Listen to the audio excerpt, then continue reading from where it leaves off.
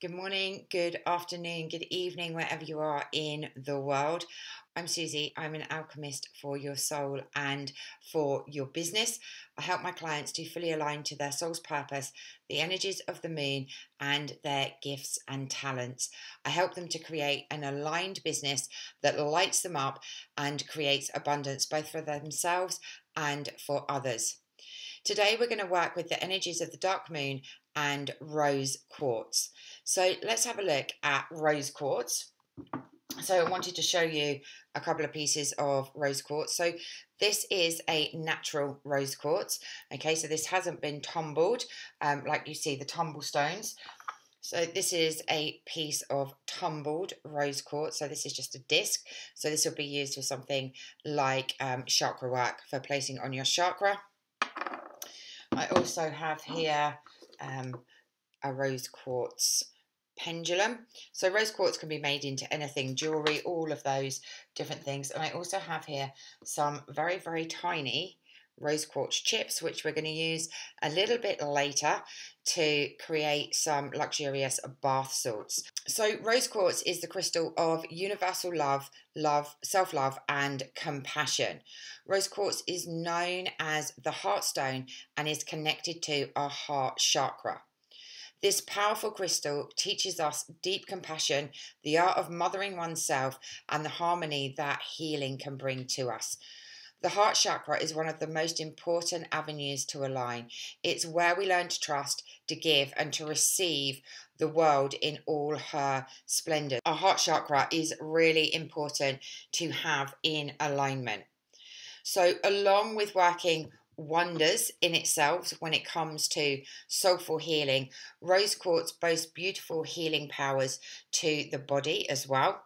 And this crystal is often used in helping healing the heart from pain and trauma left from deep emotional wounds. Rose quartz is also used for those who crave more love in their lives, not necessarily romantic love, but more in finding a deep sense of compassion and care in the world as well, especially if it comes from one of the most important sources who can bring it ourselves.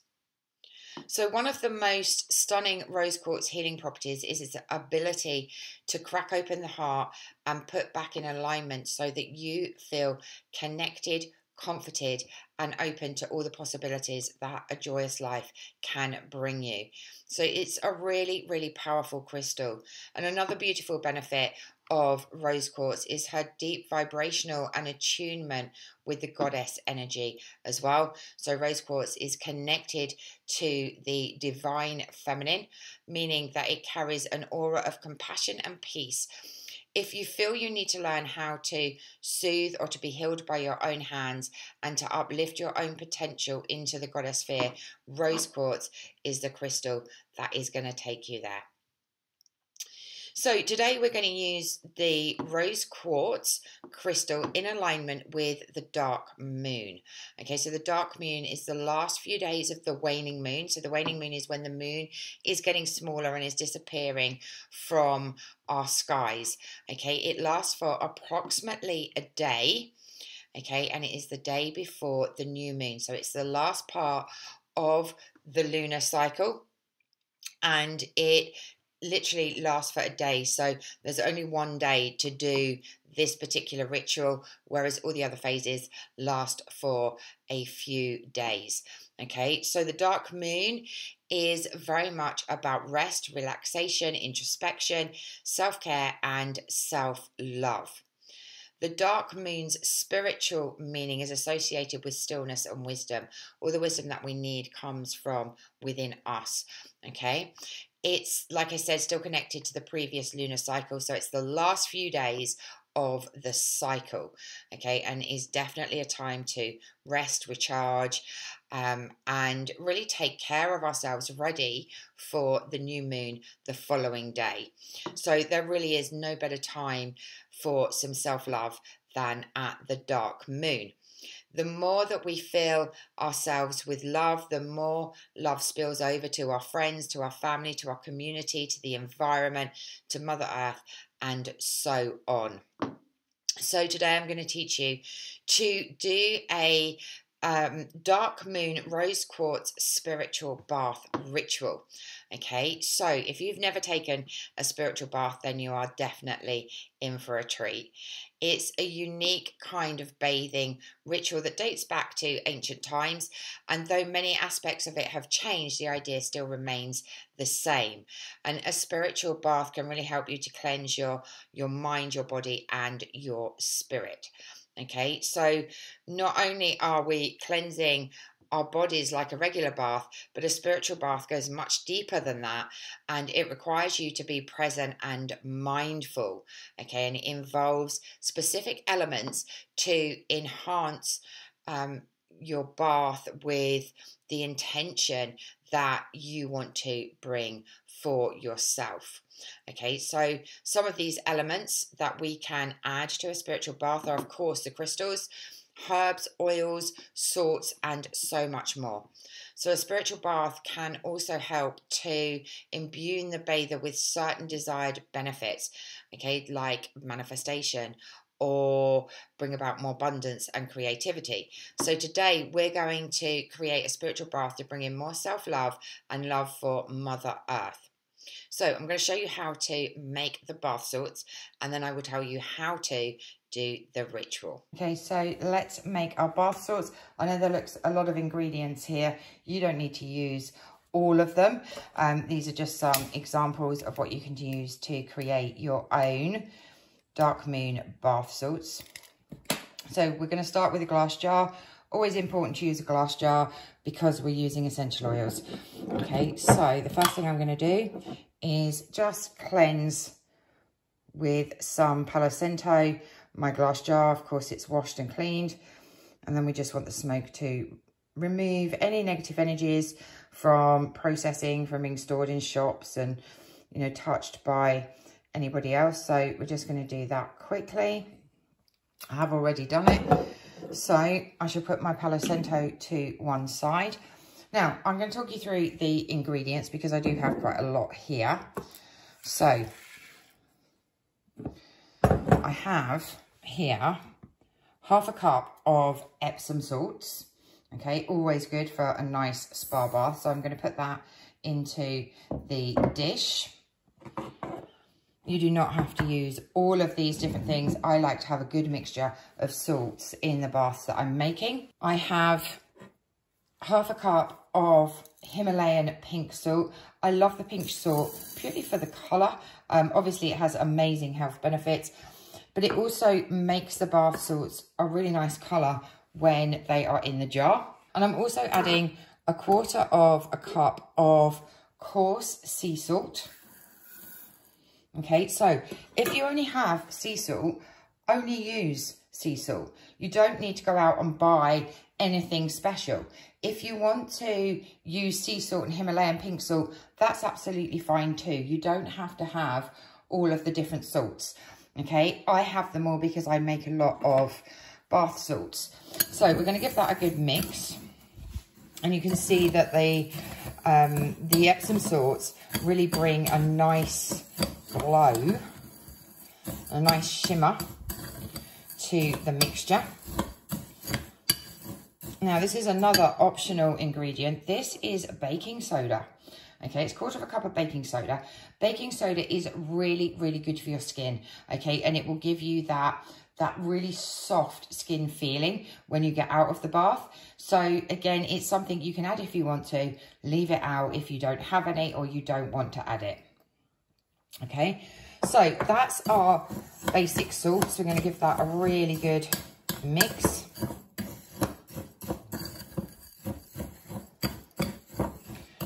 Okay, so let's talk about crystals. So obviously, as this is a rose quartz dark moon bath oil, we're going to add some little bits of rose quartz. So I've got these little tiny chips here. So I'm going to add a few of those into the mix. Now, we're talking um, self-love. This bath salts is all about self-love. So I'm going to add some amethyst. So again, I have some little amethyst crystals to add into the mix there. So some of the crystals that, that you can use for self-love are aventurine, amethyst, red jasper. There's lots of different crystals that you can use. So I've just chosen to keep this really, really simple and use amethyst and rose quartz. Now, if you don't have little chips like this, you can just add in whatever tumble stones that you have. They don't have to be the small chips. Okay, so I am also adding a moonstone crystal because this is great for self-love as well. So this is a little moonstone that I'm going to place on top. So I'm not going to mix this into the mixture. I'm going to place it on top. So some other things that you may wish to add. Rose petals. For me, rose is all about love. Okay, so I'm going to crush up a few of these rose petals. So these are dried.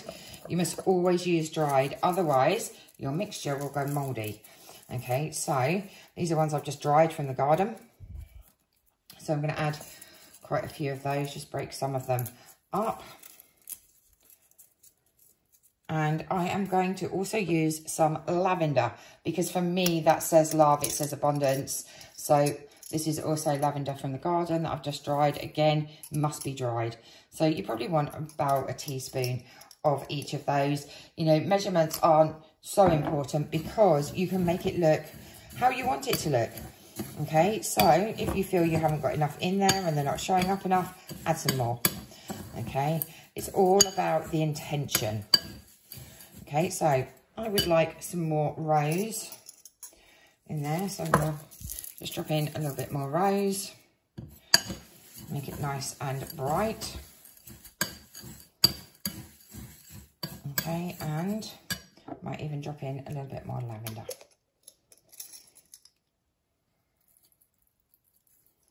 Okay, so that's probably two teaspoons of each that I put in this quantity. So now what I want to do is add some fragrance as well. Again, this is optional. Okay, it's up to you if you want fragrance or, you know, you might want to get fragrance from the candles that you use in your ritual. Okay, but I'm going to add fragrance to this. So I'm going to add four drops of rose. I'm going to add four drops of jasmine and I'm going to add four drops of lavender. And I'm going to give that a really good stir. Really make sure that that is mixed in so that with every spoonful that you put in the bath, you can really smell it. So give it a really, really good mix. And then we shall spoon it into our jar. So if you want to have a nice bath and you don't want to make too much mess, okay, you don't want to clear up all the mess of the petals and everything afterwards, then I would suggest using like a little organza bag like this and then you can just empty it and wash it and use it again. Really depends how you want to do it. You know, everything is about intention. So you can add the, the essential oils that you want to add to this mixture. If you've only got lavender, then put 12 drops of lavender in. Okay, if you've only got something like geranium or bergamot, then just use those. There are lots of different herbs that you can use for self-love and essential oils. So use what feels right for you. Use what feels like you're giving yourself some self-love, some self-care. I've got a little bit left over, so I will put this in a bag ready for dark moon on a Monday. So that's our little jar. And then the moonstone, I'm just going to put on top and seal it. Okay, so when I go to have a bath, I like to not clean up afterwards. I will put two tablespoons of the salt mixture in here along with the moonstone. Okay, so every time I will take the moonstone out and put it back in. Now, you want to leave these for a couple of days just for, um, you know, the magic of the crystals to infuse, for the herbs and the oils to infuse. So if you can make it a couple of days in advance or at least 24 hours, then that's absolutely fantastic. I know with, with the dark moon, like time is of the essence, we only have one day that we can use this. So I certainly wouldn't make more than that up because, you know, that's going to last you a few months. So two tablespoons of this into your bag, ready to put into your bath and for your bath ritual. So don't forget to put your crystals. If you want to add more crystals to this, that's absolutely fine, but that's what it looks like in your bag. If you want to add more crystals, I do talk about that in the ritual a little bit later um, because that's absolutely fine too. So do remember to label your jar and look how beautiful that looks. Can't wait to use it. Okay, so now we have our bath salts ready. Let's prepare for the ritual. So the first thing to do is to prepare the bath. For this dark moon ritual, we're focusing on love. It's a time of giving to ourselves, to others, and to the planet. When preparing for this spiritual bath, you'll want to lay the groundwork for welcoming in loving energy to make sure that you and your space are physically clean. So clean and declutter your bathroom and of course your bath and take a quick shower or bath to cleanse your body. We then want to fill the tub and gather all the materials that we want to use within our ritual. When you fill your bath with water, this is when you add the salts that we previously made into the bath. It's also important to create ambience, and this is the point where you can stir in extra ingredients along with the bath salt. So take this time to set up anything else that you think will enhance the ambience of your bath or that will transport you into a more peaceful and spiritual place. So, this can include candles, it can include crystals, it can include soothing music, incense, opening the window to let in fresh air, um, you know, the sounds of nature. Okay, so um, there are so many things that you can do to really create a peaceful spa like experience for yourself. You can also smudge your room. So, um, when we talk about smudging, it's the burning of sage or Palo Santo to remove any negative energies and to really uplift our space.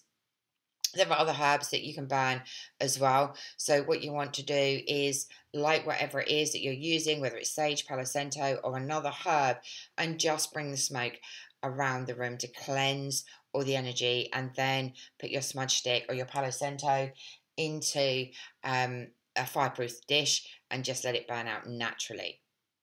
So, like I said, now's the time to add any other ingredients to your bath, like crystals, rose petals, orange slices, anything that you feel complements your bath salts. If you're going to add crystals, just make sure that they are um, suitable for putting in water.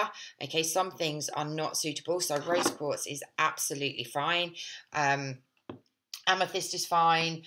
Um, and all the crystals like moonstone that I talked about um, in the bath salt video. Okay, so just make sure. So things like pyrite you can't put in a bath.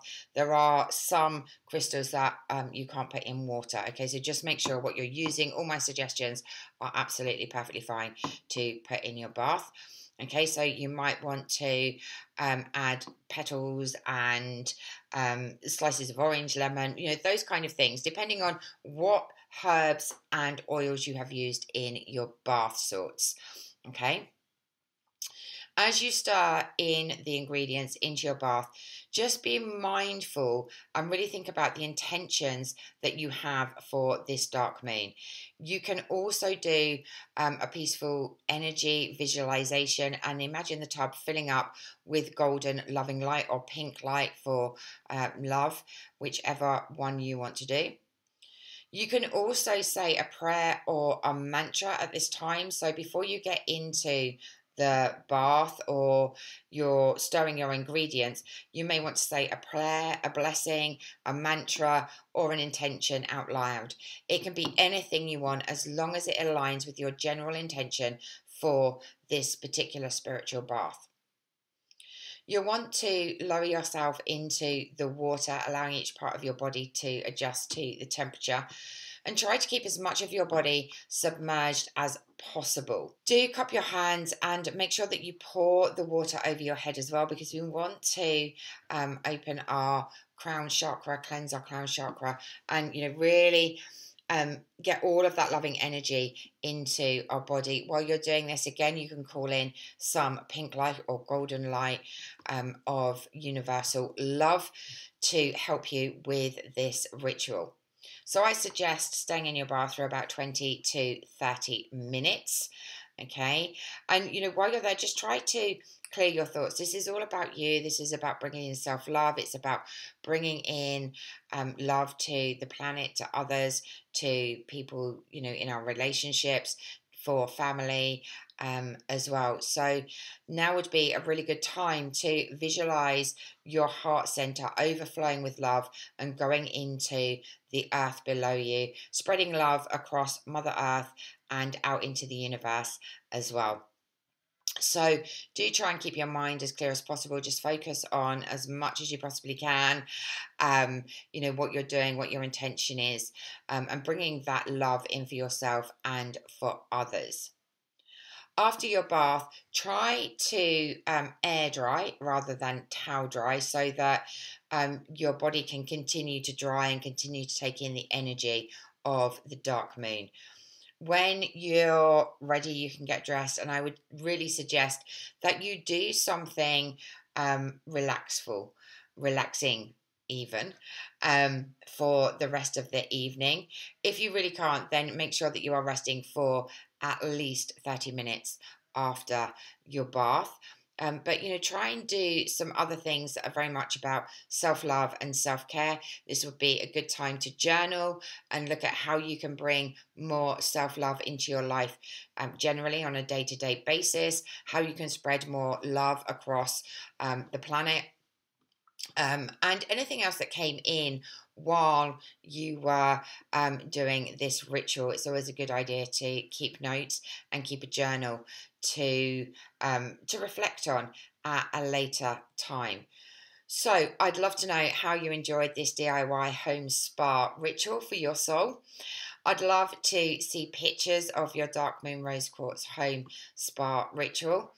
And if you'd like to know more about the moon phases and how to work with the phases of the moon to manifest more love, money, abundance, and well-being into your life, then you can join me in my masterclass on Tuesday, the 7th of September for my free Moon Money Masterclass. In this masterclass, we're going to be looking at all eight phases of the moon, what they represent, and why aligning to the moon is so important. I'll also be giving a new moon tarot reading and teaching you how to set your intentions for the new moon in a new moon ritual. We'll also be looking at the benefits of aligning yourself and your business to the flow and energy of the moon. And there'll also be prizes to be won as well. So I really hope that you enjoyed this um, this little presentation, and I hope to see you in the Moon Money Masterclass. Ciao for now.